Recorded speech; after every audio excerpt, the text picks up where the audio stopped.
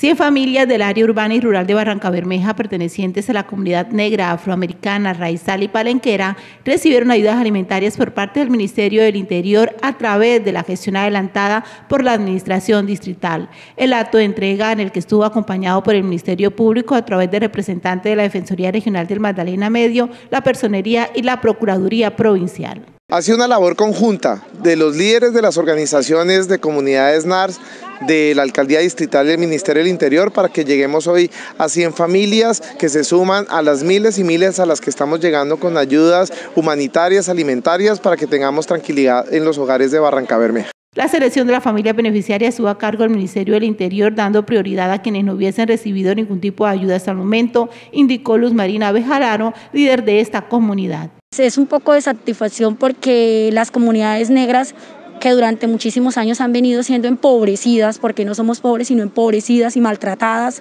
por la sociedad, pues se tiene en cuenta en un momento terrible que está pasando el país entero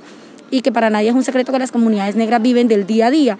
y por esta pandemia no pueden salir a conseguir los alimentos para sus familias. Entonces me parece satisfactorio que unos días van a estar tranquilos sin estar pensando que les van a dar a sus hijos. Asimismo, el primer mandatario ratificó su compromiso para mejorar la calidad de vida de estas familias con una inversión de 3 mil millones de pesos provenientes de regalías para apoyar proyectos productivos que beneficien a esta comunidad residente en el distrito. Ese es un momento coyuntural, pero tenemos noticias muy importantes, tenemos unos recursos muy importantes de regalías, en este momento más de 3 mil millones de pesos que vamos a invertirlos todos también en comunidades afro, comunidades NARS y espero que ustedes me ayuden organizadamente a hacer un gran proyecto para que este año lo tengamos y lo ejecutemos y donde queremos principalmente apoyar proyectos productivos para salir adelante, para tener nuestras propias utilidades. Las comunidades negras que viven el día a día por esta pandemia y no pueden salir a buscar los alimentos para sus familias